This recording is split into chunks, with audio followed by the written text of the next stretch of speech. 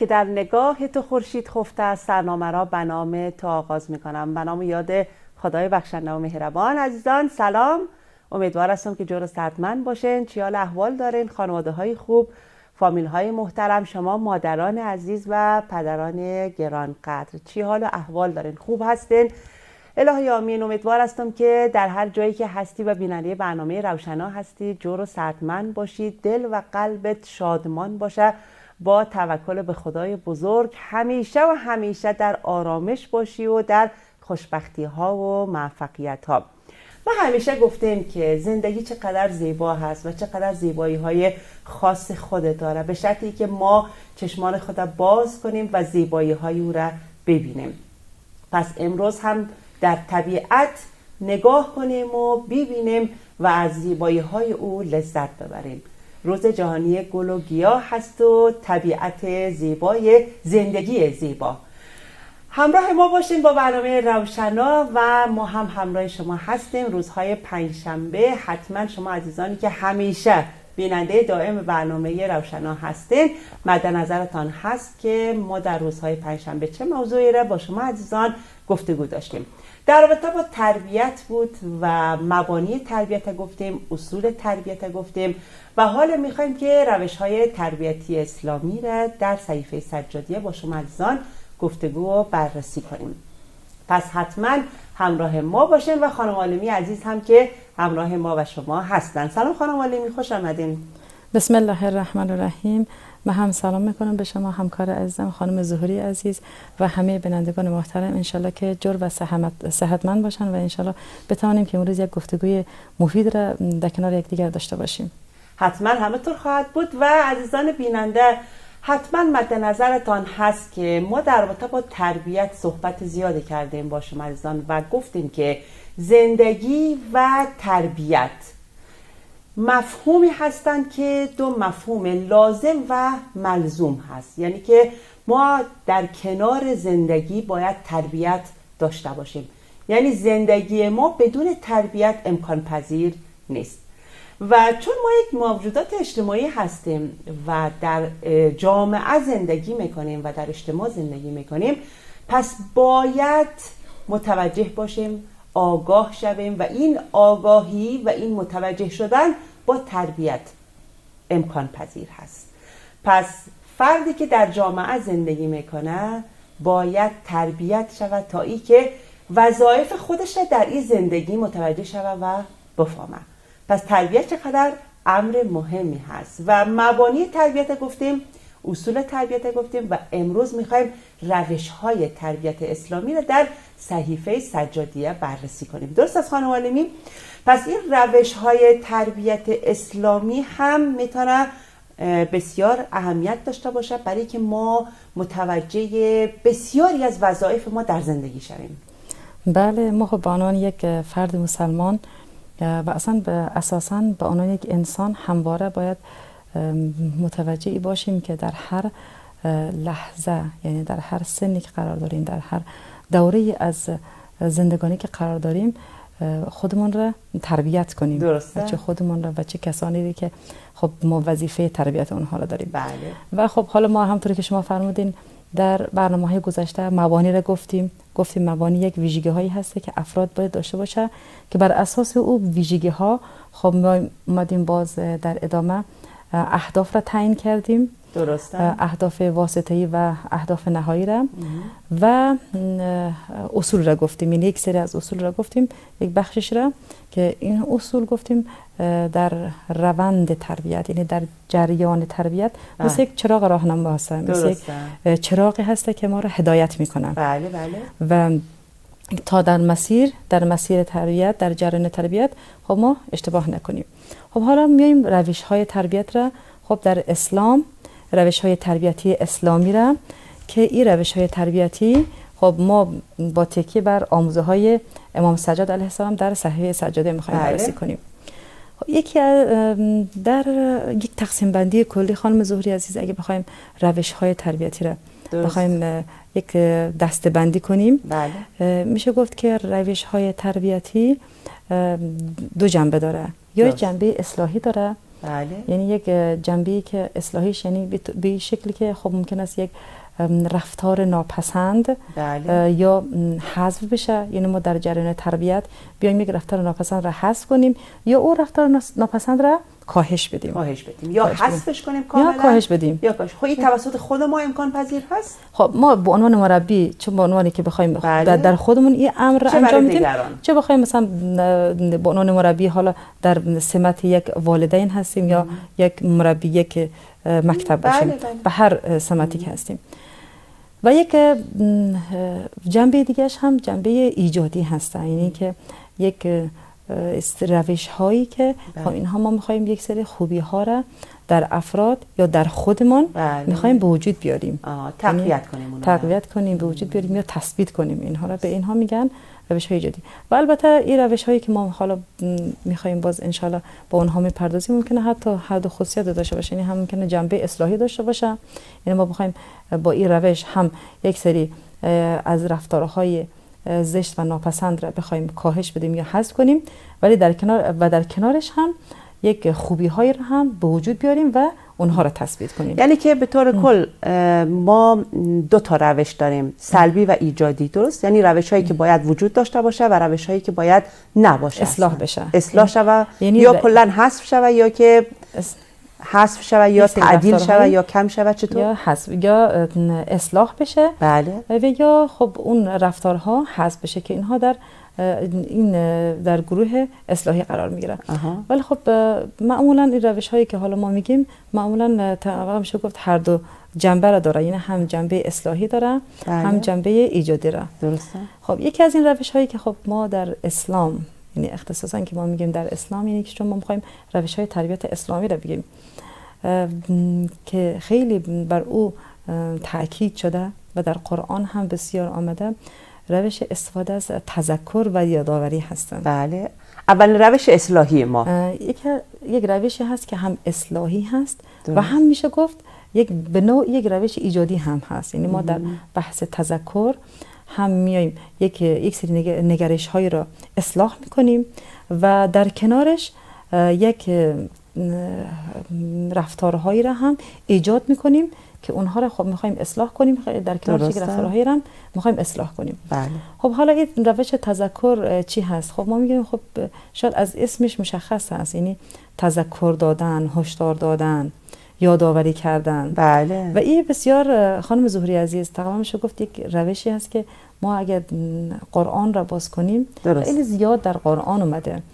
و میشه گفت که در حقیقت روش تربیتی پیامبران هست. این یکی از روش های تربیتی پیامبران. بله. همین بحث تذکر بوده که ایشان وقتی که پیامبران به پیامبری می‌رسیدن اولین کاری که می‌کردن که افراد را جمع می‌کردن اونها را تذکر می‌دادن نسبت به رفتارهایشان.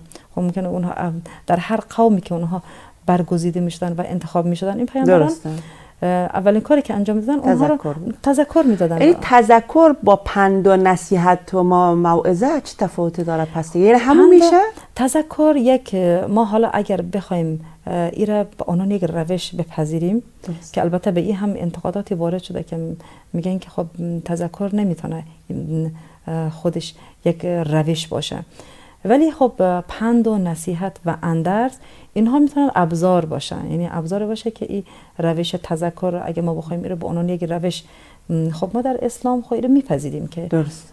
در در یک جامعه اسلامی روش تذکر می‌تونه که یک روش تربیتی باشه. همونطوری که پیامبران ما انجام دادن. بله. و پند و اندرز نصیحت اینها از ابزارهای تذکر هستن. درسته. که ما می‌خوایم خب از ها کمک بگیریم که خب حالا تذکر میدیم یعنی خب در قرآن هم زیاد آمده و چرا خب ما میگیم که روش تذکر یک روش تربیتی هست یک روش اصلاحی هست و خب در کنارش می‌تونه یک روش ایجادی هم حتی باشه. درست. حالا معلومه وقتی میگیم مثلا ما تذکر مثلا کلمه تذکر رو می‌خوایم به کار ببریم نی ناخودآگاه به یاد امر و نهی نمیفتیم. مثلا ما میگیم که مثلا ما الان مادر رو در نظر می‌گیریم. مثلا مادر یک خانواده که می‌خواد که یک تربیت روی اولادای خود انجام بتنی بله. امر و نهی مثلا کده بره تذکر داده بره غیر مثلا بگویه که ای کارو بکو ای کارو نکو. آیا مفهوم تذکری که شما حالا میگین همیست؟ حالا من در مثال یک خانواده که خورده هسته مثلا یک مادر یا تعدادی از کودکان از اون می‌خوایم مثلا این ما بیان کنیم. مثلا میگیم که می‌خواد تذکر بته درست؟ به خاطر که اصلاح کنه. حالا خب اصلاح هم که ایجاد در او همیشه امکان پذیر هست. خب وقتی میگیم که مادر میایه مثلا اولاد خود تذکر میته آیا مفهوم همین است که بکن نکو نرو نیا؟ یا چی مثلا؟ چه از خب یکی از مصادیق تذکر دقیقا در تربیت اطفال و کودکان می‌تونه همین بحث امر و های باشه که خب والدین در محیط خانواده داره. که البته نه به اون شکل به یک شکل اصولی و کاملا از روی قاعده مند باشه یعنی او تذکری که خوش ما میفرمایید میگین که در محیط خانواده وقتی که یک پدر یا مادر بله. می‌خواین که فرزندانشان را خب راه درست را به اونها نشان بدن. درسته؟ اگر از آنها خطایی ببینن و اونها را می‌خواین متوجه خطایشون بکنن خب دقیقا همین بحث تذکر اینجا پیش میاد که بستگی به لحن و بستگی به نوش داره.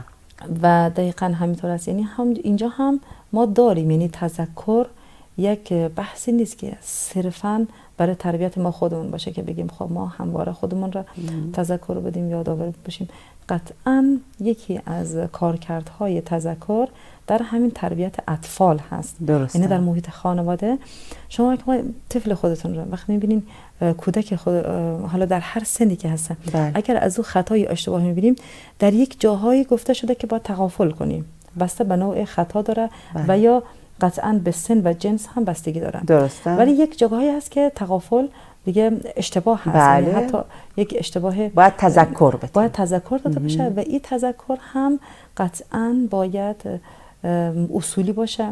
اینطور نباشه که خب ما می‌بینیم که یک مادر حالا ولی باید میان برنامه بریم ما.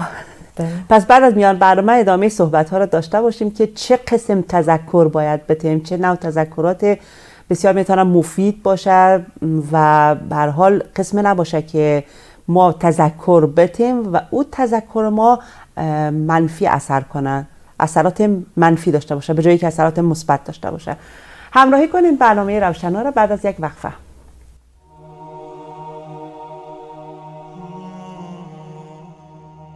امام سجاد علیه السلام در دعای نوزدهم صحیفه سجادیه نتیجه باران الهی را شکفتن گلها و زنده شدن شهرها می داند.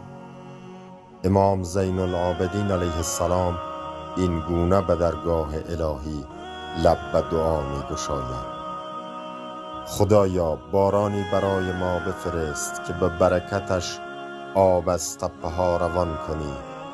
چاه ها را پراب سازی. رودها را به خروش آوری. درختان را برویانی و در همه شهرها ارزانی پدید آوری.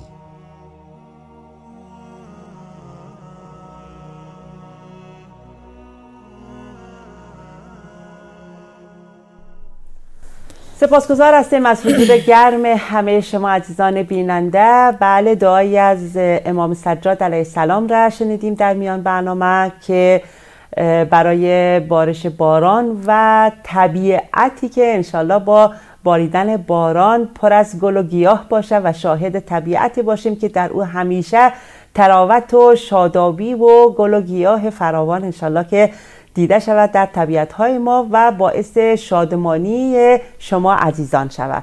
و اما در ادامه صحبت ها و گفتگوها هستیم در رابطه با روش های تربیت اسلامی در صحیفه سجادیه.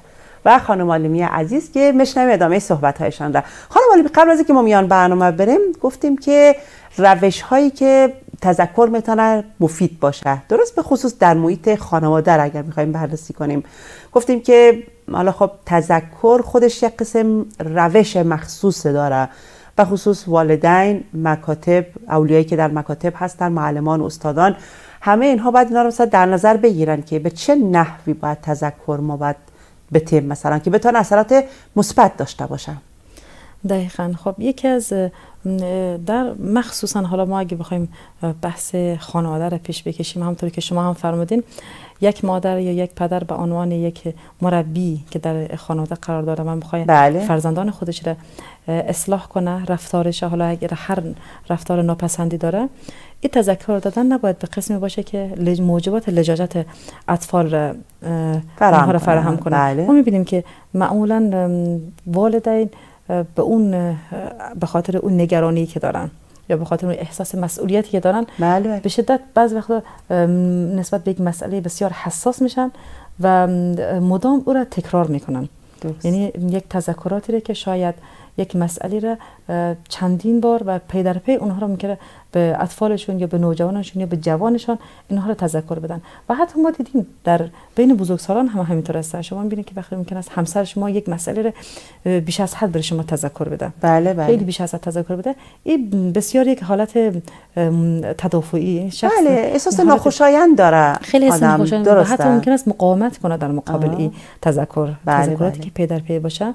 حتی افراد ممکن است مقاومت کنن. یعنی حتی یک فرد بزرگسال حتی ممکن است در مقابل بله تذکر مقاومت کنه چه برسه که او یک طفل باشه که خیلی راحت‌تر می‌بینید که اطفال که زیاد بهشون امر و نهی کنیم زیاد به اونها تذکر بدیم اونها ممکن است اصلا در مقابل اون رفتار ما مقاومت کنه و بله. هیچ اثر نداشته باشه که هیچ اثر ممکن است یک اثر منفی هم داشته بله. باشه و حتی برعکس او عمل, عمل کنن. بسیاری وقتا مادرها رو ما شنیدیم که میگن که من ایفم چرا وقتی که اولادایم می‌خوایم نصیحت کنم مثلا بگم که او بچه ای کار بکن ای کار نکو گوشای خودم ما کم می‌گیره.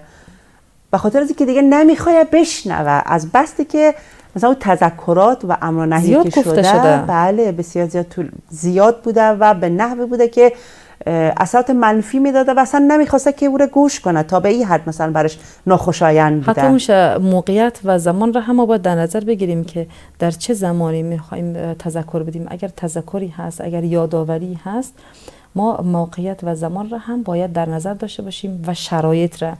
یعنی اگه ما می‌خوایم شخصی را تذکر بدیم باید که ببینیم که در چه موقعیتی هست. اگر ما در همون لحظه که او اشتباه کرده و با یک صدای بلند با خشونت و با عصبانیت که خب ممکن است یک رفتاری که طفل خودمون بسیار ناراحت شده باشیم با او تذکر بدیم قطعا یک یک رفتار منتج نمیشه به یک اصلاح یا تربیت بله. چون که فقط اون می‌تونه که او آتش خشم ما رو فرو بشونه و از اون طرف ممکن است طفل ما فقط در مقابل ما یک مقاومت کنه بله. و حتی لجاجت کنه گاهی وقتا خانم علی مثلا ما چه ما بخوایم یا نخوایم یعنی چه خوش ما بیاید چه نیاین ما نیاز از داریم که مورد تذکر قرار بگیریم. درست است؟ بسیار وقتا بعض انسان ها هستند که خودشان می‌خواین که مثلا میگن که برای ما حتما تذکرات بته و ما بگو که مثلا در این قسمت مثلا سر نماز اول وقت به ما تذکر بته که ما یاد ما بمانه. یا مثلا گاهی وقتا انسان ها غافل میشه از آخرت خودش. مثلا به کارهای دنیا مثلا اینقدر غرق کارهای دنیوی میشه که از آخرت غافل میشه. در تو وقتا تذکر لازم هست. درست است؟ دقیقا تذکر یک مسئله هست که خانم زهری دقیقا برمیگرده. یعنی مبنای روش تذکر. ما هم گفتیم در برنامه های اول گفتیم یکی از ویژگی های یک انسان چیه؟ غیر از حب حب, حب ذات و حب خود خودجویی و اینجور مباحث بله. جاودانگی طلبی یکی از ویژگی های انسان این هست که انسان معمولا در قفلت به سر می‌بره یعنی ممکنه دچار قفلت بشه. بله. و بر مبنای همین ویژگی هست که خب خداوند متعال بحث تذکر را خب برای انسان ها با نیک از روش های تربیتی قرار دادن. اگه پیامبران رو فرستاده به خاطر چی؟ به خاطر که افراد قافل هستن. و یک قفلتشون ممکن است از روی جهل و نادانی باشه بله. که مثل همون پیامبرانی که وقتی که اینها انتخاب می‌شدن و برگزیده می‌شدن به خاطر اینکه در یک جامعه قرار می‌دادن که افراد جاهل بودن و نادار بودن و آگاهی نداشتن. بله. ممکن است ریشه قفلت ممکنه جهالت و نادانی باشه و یا ممکن است ریشه قفلت خودپسندی و تکبر باشه. یعنی یک شخص به قدری خودش را قبول داشته باشه و او به خود اعتماد به نفس بیش از حد داشته باشه که هیچ چیز دیگه قبول نداشته باشه. باعث بشه که واقعا در غفلت به سر ببره و یک جاهایی یک خطاهایی بکنه که واقعا قابل جبران نباشه. دقیقا. و یا یک ریشه غفلت ممکن است در همطور که شما فرمودین که نعمت های خدا را فراموش کنه. یعنی افراد ممکن است هر چیزی که دارن داشته های خودشون رو فراموش کنن. یا حتی در امورات زندگی خودشون در بله. امور زندگی خودشون وظایف خودشون رو فراموش کنن حالا در هر زمینه که هست ما وقتی میگیم بحث از غفلت که میشه فقط صرفا مباحث اخروی و عبادی نیست درست. حتی در مباحث دنیوی هم ممکن است بله. ما دچار غفلت بشیم بله. یعنی هر هر لحظه ممکن است انسان غافل باشه به هر دلیلی یا عدم آگاهی هست و یا ممکن است یک شخص روحیاتش یک طور باشه که اه، نتونه خیلی نسبت به اون برنامه های زندگی خودش اشراف داشته باشه و. مدام نیاز به این داشته باشه که آه. به او تذکر داده بشه بله. یعنی تذکر لازمه این هست که ما در زندگی خودمون برنامه های ما به ما یادآوری بشه. یادآوری باشه که ما در چه موقعیت در چه مقامی هستیم و اینها حتی اگر اینطور نبود خداوند متعال در قرآن پیامبران رو یکی از وظایف اصلیشون اونها رو اه، همین تذکر دادن نمی‌گفتن گفتن یکی از وظایف اون اصلی پیامبران این هست که مردم را تذکر بدن و درست. حتی اسم قرآن یعنی خود یکی از اسامی قرآن در قرآن این هست که به اسم ذکر گفته شده یعنی که آه. تذکر دادن خود قرآن بله، خود بله. قرآن به عنوان یک کتابی هست که خب ما میگیم که قرآن یک کتابی هست که برنامه زندگی در او هست یکی از برنامه هایی که خب در زندگی در قرآن هست برای زندگی ما و بسیار کاربردی هست همین جنبه تذکر دادن بله قرآن هست بله. که شما با مطالعه هر آیات اصلا داستان های مختلفی که در قرآن بله. هست قصص قرآن اینها همه برای ما حتی هم جنبه خود عبرت آموزی که در قرآن وجود داره. همین هم خودش به نوعی تذکر دادن به ما هستن. درست. و نیاز هست برای همه انسان ها. یک نوع تربیت یک نوع روش تربیتی است. یک نوع روش تربیتی هست و با امر به معروف و نهی از منکر چه نسبتی دارد تذکر؟ اینا همشون می‌تونن در یک ردیف باشن دیگه درست بله اینها می‌تونن روش هایی هستن که خب تکمیل کننده یکدیگر هستن آه. یعنی اگر ما میگیم که تذکر میدیم در مقابل یک خطا یا اشتباهی حالا هر کسی اگر ما خودمان هستیم یا گاهی وقتا ما خودمون رو متذکر میشیم که خب من یه اشتباه را نکنم یه اشتباه رو بکنم یا حتی دیگران رو حالا ممکن است فرزندان ما باشه یا هر کسی دیگه ای خب قطعا بحث امر به معروف و نهی منکر همینا می‌تونه یک روش تربیتی باشه ولی خب اونها قالبشون فرق می‌کنه. اونها شرایط خاص داره. درسته. خب در بحث امر به نهی از منکر ما می‌دونیم که هر جایی وظیفه نداریم که امر بله. به نهی از منکر کنیم. ولی بحث تربیت مثلا به طور مثال ما در بحث تذکر وقتی که تربیتمون اگه اونجا هم خود در بحث تذکر هم همینطور هست یعنی ما در بحث تذکر هم ما قطعا هر جایی این وظیفه رو نداریم که بیم تذکر بدیم یعنی ما. هر کسی این وظیفه رو نداریم که بله. بگیم شاید یک جاهایی اصلا ما هیچ نیازی نباشه که تذکر بدیم. درسته. ولی یک جاهایی باید تذکر هست. بدیم. فقط در کشورهای اسلامی تذکر وجود داره یا نه؟ عموم هست. بحث تذکر خب همونطور که ما اول برنامه هم گفتم گفتم یک روشی است که خب جزو روش های تربیت اسلامی هستن. درسته. و قطعا ما می‌تونیم بگیم که بحث تذکر یکی از روش های تربیت در حوزه نظام اسلامی هستن. یعنی ما شاید در کشورهایی که اسلامی نیستن یا حتی دین را قبول ندارن حتی ضد دین هستن. ما اونجا وقتی بخوایم یک اه، اشتباه یک کسی را خطا یک کسی را بهش تذکر بدیم اون میگه که خب یه بحث کاملا فردی هست و بله. اصلا این مربوط به خود ما هست.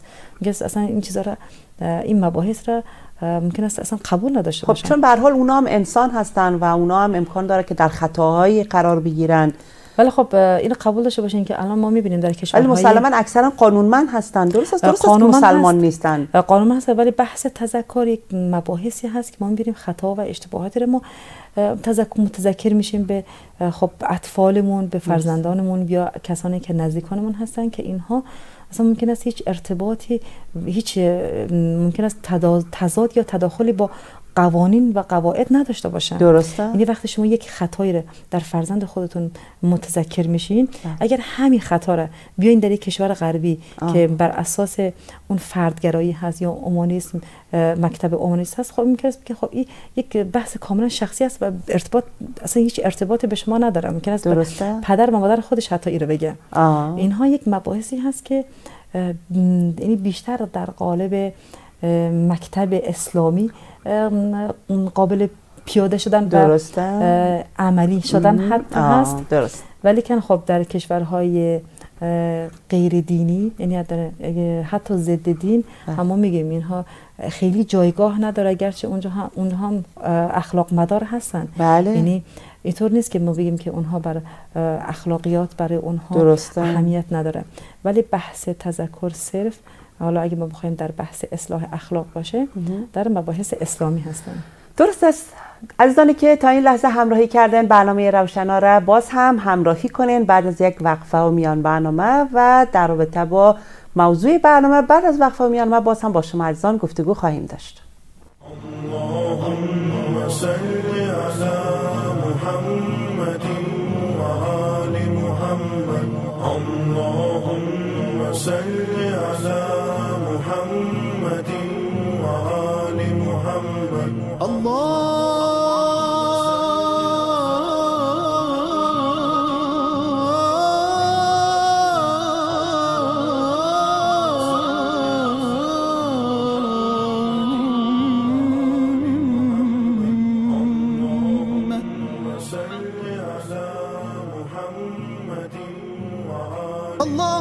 صل على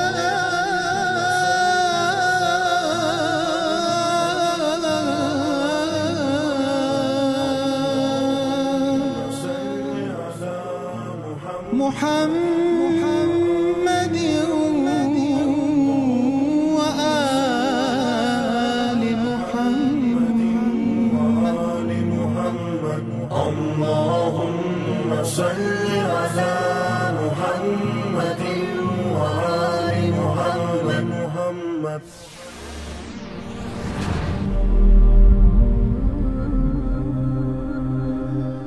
موضوع برنامه امروز روشنار روش های تربیت اسلامی در صحیفه سجادیه هست. با شما عزیزان این موضوع را از شروع برنامه صحبت کردیم با خانم عالمی عزیز و در ادامه صحبت هم با شما عزیزان هستیم. و موضوعی که بسیار اهمیت داشت تذکر هست و ای که ما به عنوان والدین چه قسم و چگونه تذکر بتیم و این تذکر ما جزء اصلاحیات زندگی میشه برای اطفال و کودکان و جوانان ما و انشالله که با اصلاح یک رفتار یک رفتار دیگه ایجاد میشه برایشان که بهترین خواهد بود. ما هم آرزو می‌کنیم که لحظه لحظه زندگی همه فرزندان عزیز ما جوانان ما نوجوانان و کودکان ما بر پایه تربیت استوار باشه. تربیت اسلامی تربیتی که در او بهترین نوع رفتار را ایجاد کنند و بهترین نوع رفتار را در زندگی در خانواده و در جامعه به وجود بیاره و انشالله که ما والدین شاهد بهترین رفتار از از کودکان و جوانان و نوجوانان ما باشیم. خب خانم علمی آدم می‌خوایم در ادامه صحبت ها منتظر هستیم که ببینیم که ادامه تذکر به کجا می‌رسه و چی میشه. گفتیم که تذکر نیاز هست باید وجود داشته باشه. حالا نحوه از او و رفتاری که ما از تذکر باید چه قسم و چگونه باشه اینها را هم بیان کردیم. در ادامه باز هم نسبت به این موضوع شما گفتگو داریم. یکی از مصادیق تذکر و یادآوری هم بحث یادآوری نعمت ها هست خانم زهری عزیز. یعنی ما تقریبا میشه گفت که بحث یادآوری نعمت ها خودش واقعا یک نتیجه تربیتی بسیار مثبتی داره. وقتی که ما تصور کنیم که با عنوان یک انسان با عنوان یک انسانی که خداوند ما را خلق کرده و چه نعمت های خداوند به ما داده وقتی که نعمت های, خود، نعمت های خداوند رو یادآوری می‌کنیم به خودمون بسیاری از خطاها رو ممکن است ما مرتکب نشیم. ما بله. اگر نعمت سلامتی رو یادآوری کنیم به خودمان متذکر باشیم. یعنی متذکر باشیم که خب من یک فردی هستم که سالم هستم و از این نعمت سلامتی برخوردار هستم. بسیاری از ناراحتی های روحی و روانی ما ممکن است برطرف بشه خود ما به خود ما متذکر باشیم. دقیقا. متوجه باشیم و ام قسم که شما بیان کردین شکرگزار باشیم. و این یادآوری نعمت ها بسیار می‌تونه نتایج مثبتی داشته باشه. ممکن است خب خیلی از حتی همین بحث یادآوری نعمت ها خانم زهری عزیز ما در تربیت اطفال و فرزندانمون هم می‌تونیم از این یاد بگیریم. اینطور نباشه که ما بگیم فقط خب یادآوری نعمت ها برای ما که چون درک ما از جهان بیشتر هست خب ما باید همیشه یادمون باشه که ما افراد سالمی هستیم ما خانواده داریم ما نعمت خب امنیت داریم ما بله نعمت بله. آسایش داریم نعمت اسلام را داریم. اینها نعمت هایی هست. خب اینها رو برای خودمون متذکر بشیم و بگیم خب اطفال ما که اینها چیزی متوجه نمیشن. اینها باید خودشون اینا کلان شون باید در آینده اینها رو متوجه شن. گرچه اینطور نباشه واقعا این بحث یادآوری نعمت ها از همون طفولیت یعنی از زمانی که فرزندان ما اینها در جامعه وارد میشن باید متوجه باشن. یعنی ما همیشه اونها را به طوری به اونها یادآوری کنیم که همیشه متوجه باشن که چه داشته هایی دارن یعنی می‌بینی که اطفال وقتی به یک سن می‌رسن اینها خیلی خودشون رو با دیگران مقایسه می‌کنن بله. وقت اگر یک وسیله رو در دست یک طفل دیگه ببینن خب میگه من می‌خوام این رو داشته باشم درست. یعنی از همینجا مشخص میشه که انسان از همون دوران طفولیت تا زمانی که خب هست و زندگی می‌کنه به دنبال این هست که همیشه نداشته های به دنبال نداشته هایش باشه. بله. و این از یک طرف می‌تونه مزیت باشه برای یک انسان. هم می‌تونه مزیت باشه برای اینکه خب پیشرفت کنه به دنبال اون که نداره اونها رو کسب کنه. ولی اگر همین نگاه کردن به نداشته ها این از حالت یک حالت افراطی پیشده بشه. و نداشته هایی که ممکن است خیلی طبیعی یک انسان نمی‌تونه در دنیا همه چیز رو داشته باشه. از اون حالت منطقیش اگه خارج باشه ممکنه شخص رو واقعا دچار مشکل کنه. و همین ندیدن اون نیمه خالی لیوان برای یک شخص ممکنه واقعا بسیاری از زمین های بسیاری از خطاها را فراهم کنه درست. که افرادی که دچار بسیار از جرم ها و جنایت ها میشن برای اینکه یک امکانات را ندارن و اونها رو می‌خوان به وسیله خب حالا سرقت هست یا به هر وسیله یک رفتار ناپسند اونها رو می‌خوای کسب کنن دقیقا منشأش برمیگرده به همین که این افراد داشته های خودشان را و اون چیزهایی که دارن را بله. اینها رو به خودشون یادآور نبودن.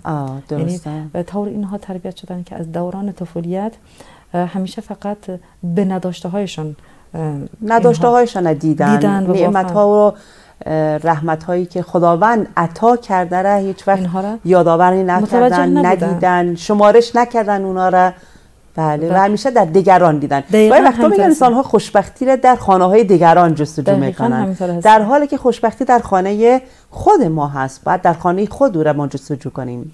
و ما واقعا باید همین از زمان طفولیت ما در اطفال خودمون ایره به اونها آموزش بدیم. یعنی طور تربیت کنیم که اونها همیشه بتانن و بفهمن که چه نعمت هایی دارن یعنی در بین چه داشته هایی قرار دارن و البته باید هم که نداشته هایشان را متوجه باشن. برای اینکه خب به اون نداشته هایشان برسن یعنی به اونها هم متوجه اونها هم باشن که پیشرفت زندگی هم واقعا در گروهی هست که افراد خب نقاط ضعف خودشان را هم باید اینها بله. بشناسن. یعنی همون مفهوم گذاری دقیقا همینطور است. و این وقتی ما می‌بینیم امام سجاد علیه السلام در صحیفه سجادیه شما دعای کتاب صحیفه سجاده وقتی مطالعه می‌کنین اصلا در تمام سراسر صحیفه سجادی امام سجاد علیه السلام همواره اومده از نعمت های خداوند نام برده. یعنی بعد از اینکه حمد و ستایش کرده خداوند متعال و بعد صلوات فرستاده بر محمد و آل محمد صلی الله علیه و سلم.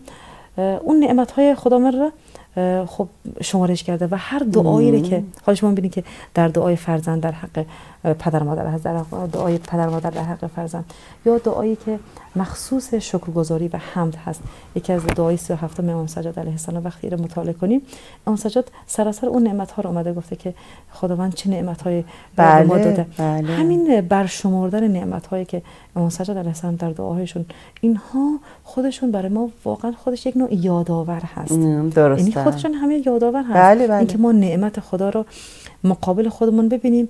یک نوع تذکر هست یک یادآور هست که ما از او حالت غفلت و خوابالودگی ما بیرون بیاییم و واقعا به خودمون بیاییم و بدونیم که در کجا قرار داریم و این نعمت هایی که خداوند برای ما دادند اگر این نعمت ها رو ما نمی داشتیم ما در چه جایگاهی قرار می گرفتیم بحث شکر گذاری بنابراین یکی از مباحثی هست که در بحث تذکر و یادآوری می‌تونه یکی از مصادیقش باشه.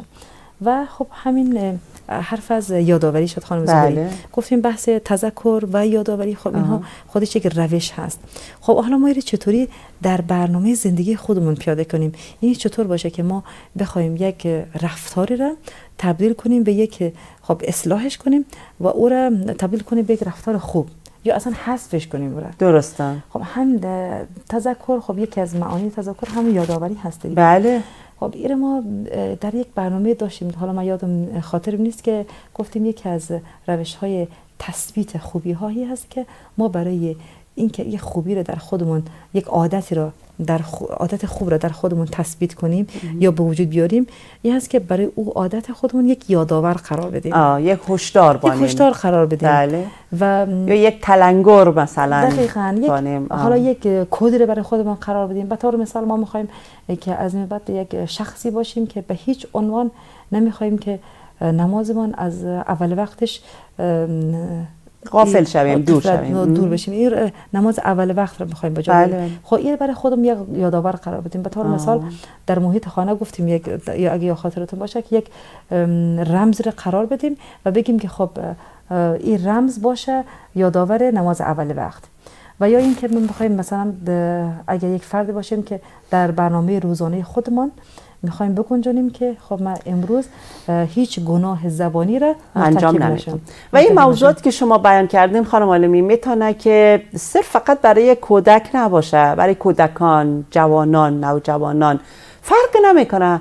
همه انسان ها بله در هر سنی. حالا بسیاری از پدر کلانا مادر کلانا ریش سفیدان اونایی که سنی ازشان گذشته و یعنی در مجموع می‌خوایم بگوییم که همه انسان هایی که در این جامعه و در اجتماع زندگی می‌کنن نیازمند این موضوع هستن. نیازمند یادآوری نیازمند تذکر نیازمند شکرگزاری ای که شکرگزار نعمت ها باشن و یادآوری کنن همیشه نعمت هایی را که خداوند به ما ارزانی داشتن.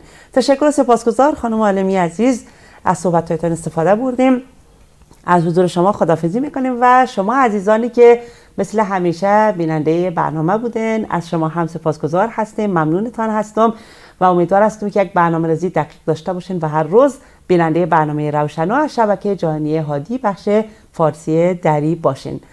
موفق و پیروز باشین و بهترین ها را برای یک یک شما عزیزان آرزو من هستم. خدا نگهدار. اللهم صل على محمد وآل محمد. اللهم صل على محمد وآل محمد وعجل فرجهم